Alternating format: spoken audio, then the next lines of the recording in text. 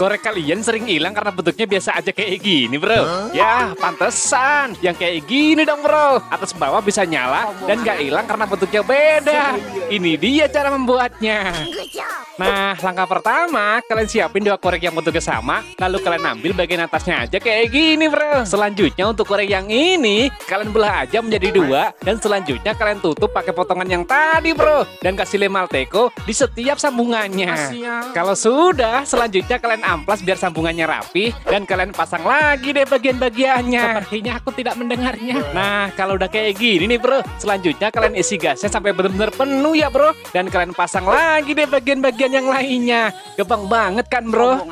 Selain jadi lebih unik dan beda dari yang lain, kalau kayak gini kayaknya korek kalian bakal cepat hilang deh. Karena pasti bakal jadi incaran semua teman di tongkrongan kalian.